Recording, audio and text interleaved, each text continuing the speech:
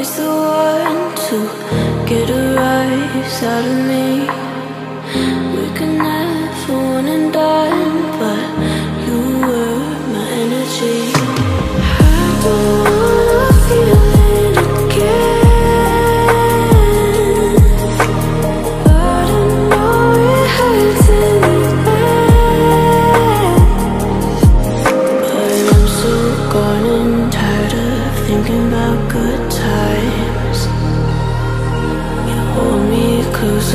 when I